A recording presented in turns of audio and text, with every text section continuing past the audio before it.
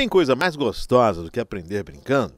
Entre uma gargalhada e outra, se conscientizar, reforçar, além, é claro, se divertir. Com esse objetivo, a Rede Municipal de Ensino tem propiciado aos alunos assistirem peças teatrais, no intuito de reforçar valores que já fazem parte do dia a dia das salas de aula. Eu acho que foi uma iniciativa ótima da Secretaria ter trazido essa peça para o município. Eu trabalho com, com a alfabetização de alunos e para ele foi é, o impacto que teve foi a preservação do meio ambiente. A gente já trabalha planejamento essa área, né?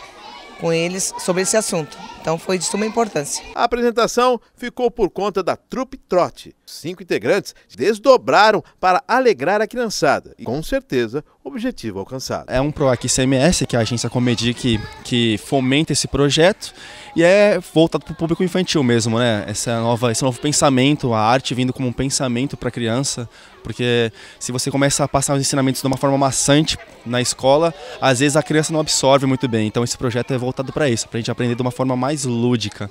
Como é essa interatividade, essa energia com essa criançada? Ah, tem que ter com energia, né? Afinal, o público infantil ele precisa dessa interação, ele quer participar da peça. Tanto que tem até uma gincana que a gente chama os professores e os alunos para se sentirem à vontade, se sentir integrado dentro desse projeto. Ainda no clima de euforia, os alunos receberam um livro para reforçar ainda mais mais o conteúdo. Aproveitamos a Semana do Folclore para estar tá trabalhando esse assunto, que foi muito interessante.